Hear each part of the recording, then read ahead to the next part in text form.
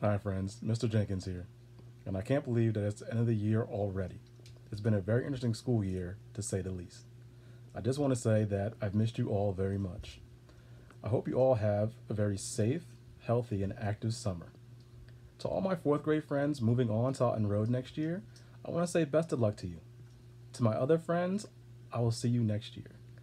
Everyone, I hope you have a great summer.